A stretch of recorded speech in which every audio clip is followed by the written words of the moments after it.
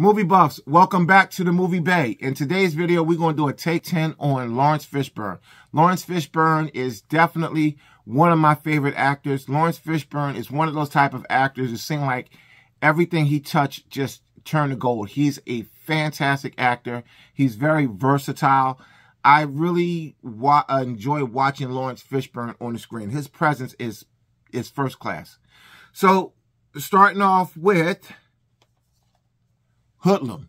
Hoodlum is a fantastic movie. This chronicles the story of Bumpy Johnson. There's a couple of different movies, different adaptations on Bumpy Johnson. Netflix had one called, I think it was called King of Harlem.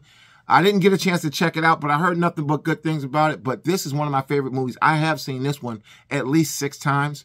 So you got an all-star casting here. You got Laurence Fishburne. You got uh, Vanessa Williams, Tim Roth, Andy Garcia.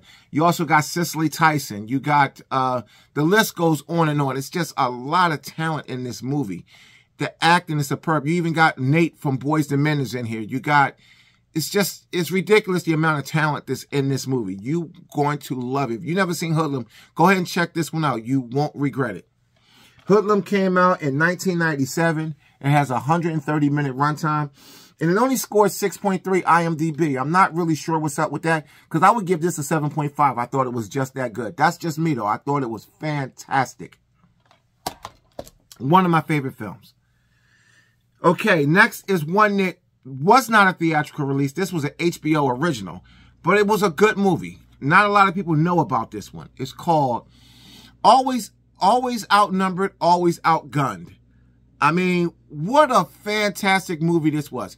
So, Laurence Fishburne plays a character named Socrates who's just, life has thrown this man so many hardballs. He's up against all odds. He's trying to find a job. But through all of that, through everything he was going through in his life, it didn't take away his his will to just be a decent man and a good person and to help others the best way he could. Socrates is just one of those characters. You got to see this movie. If you've never seen Always Outnumbered, Always Outgunned, again, if you got HBO Max, I think you can get this one because it is an HBO original.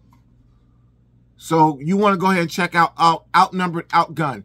This is a free movie on YouTube. You can see this for free. You don't have to buy it. But this is such a good movie. I wanted to have a hard copy of it. Always Outnumbered, Always Outgunned came out 1998. It has a 104 minute runtime and, and it got a very good 7.2 IMDb.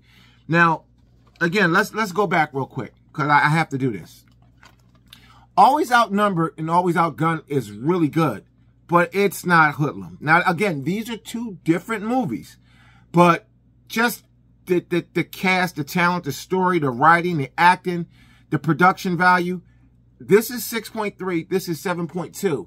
And I, I, I got to disagree with that. I think Hoodlum is overall the better movie.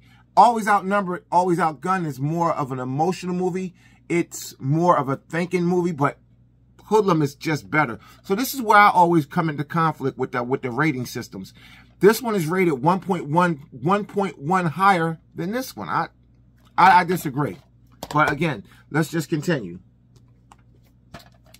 Akeelah and the Bee. I really like Akeelah and the Bee. This is uh, a very young Keke Palmer in this one. Angela Fishburne. Um, I'm not sorry, Angela Bassett, Angela Fishburne, Laurence Fishburne. But this is a good movie. It's about a little girl named Akeelah who's going all the way to win the, I think, did she win? But she went all the way to the finals. And I'm, if I'm not sure, I think she might have won the spelling bee. It was a big spelling bee. She was a young girl. She was being represented by Laurence Fishburne. Fishburne and Bassett, the mother, they had some back and forths. And the whole neighborhood, the whole community was really pulling for Akeelah to win this bee. Fantastic movie. Really, really good movie. Akeelah and the Bee came out in 2006. It has a 112 minute runtime and it scored a really decent, well-deserved 7.3 IMDb. Good movie. Next up, we have a classic, Boys in the Hood. Boys in the Hood Came out in 1991. It has a 112 minute runtime. It has a, a well-deserved 7.8 IMDb. This is a really good hood movie. You know, it's right up there with Menace to Society, uh, South Central Strap, Fresh Clockers. You know, it's, it's up there with all of those.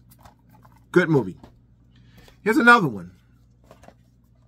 Biker Boys. Now, Biker Boys was okay. It wasn't nothing great, but it's a Fishburne movie. Um, so Biker Boys came out 2003. It has a 111 minute runtime and it scored a low 4.6 IMDb. I would have gave it at least a 5, maybe a 5.2. But again, Biker Boys. Nothing special there. It's okay. You know, it's okay. Now here's now here's one that's right up there. For now, far as Fishburne movies go, this is in my top five with Hoodlum. This is right up there. So top five for me uh, is going to be Hoodlum, um, Always Outnumbered, Always Outgunned, In this one, Deep Cover. Wow, what I what I I saw this in the theater as soon as it came out. I had to go see this one. So Deep Cover came out in 1992. It scored a 107 IMDb, and it got a decent 6.9 IMDb. I could see maybe a 7.2, 7.5 for this one, but 6.9 isn't terrible. It's pretty decent. Now, this just had a Criterion release not too long ago, or, well, actually was just on sale. I'm not sure. I think it might have came out a couple years ago, but either way, this is a Criterion. This is on Criterion now, but the DVD is great for me. I like it. Deep cover is, this is where I really got exposed to Laurence Fishburne, like really paid attention to his career, where this put him on my radar. Um, so Deep Cover, again, uh, we went over the numbers. It's a fantastic movie. Laurence Fishburne, this movie is like, um, I'm kind of veering off here, but this movie is like the movie, um, oh man, I forgot what it's called, with LL Cool J and Omar Epps.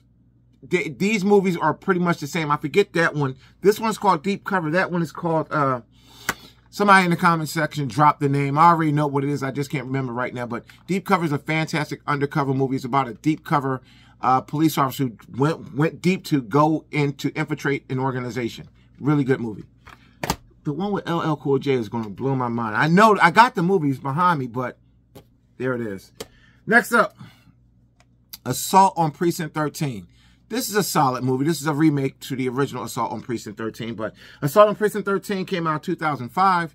It has a 104 minute runtime, and it's got a decent 6.3 IMDb. Uh, it's basically about assault on a police station. Higher Learning. Uh, Laurence Fishburne. This is another one that put him on my radar. He played a professor in here, a really well-disciplined professor. His, his now this role who shows how diverse Fishburne is because he can play a lot of stuff. Higher Learning came out in 1995. This is another one I went to the theaters to see. Uh, came it has a 127 minute runtime and a 6.5 IMDb. Um, this one, the soundtrack to this movie was incredible. The acting was incredible. Uh, Tyra Banks was in this one. Yeah, was Tyra Banks in this one? Omar Epps. I do believe Tyra Banks made her actor acting debut in this one too. Fantastic movie. Next up, The Matrix 1 and 2. Uh, Morpheus. I, I, had to bring that up. I had to bring in Morpheus. No need to really talk about it, but The Matrix, uh, it started in 1999. And The Matrix, I do believe The Matrix came out in 99. The Matrix 2 came out in 03. The Matrix had an 8.7 IMDb. Matrix 2, which is Matrix Reloaded, 7.2 IMDb. Uh, I can agree with both of those ratings. So that's The Matrix 1 and 2. Next up, Armored. Armored came out in 2009. It has a 88 minute runtime, so it's, you know, not too long. 5.7 IMDb. This is a typical armored car movie. There's a ton of those out there. This is typical mid-pack. Wouldn't say it's the best. Wouldn't say it's the worst. So that's your take 10 on Laurence Fishburne. Fun fact about Laurence Fishburne. Uh, the movie, uh, the show Good Times that came out, I do believe Good Times came out like in the late 70s, early 80s. Michael Evans, that role was originally uh, Norman Lear, who wrote that, who basically wrote it, produced it, and did all of the creative work behind the scenes with Good Times and a lot of shows from that era. Norman Lear actually had Laurence Fishburne. That role was written for Laurence Fishburne, but Laurence something happened, and Laurence Fishburne didn't get the role. The character guy, I think his name is Ralph. I forget his last name. He got the role over Laurence Fishburne. It's not that he got it over. There was some kind of commitment with Laurence Fishburne where he could not take the role of Michael Evans. But fun fact, that role was actually written for Laurence Fishburne. I think if Laurence Fishburne would have took that role, it would have changed the whole trajectory of his career. So, fun fact. That's our take 10. I'll see you in the next one.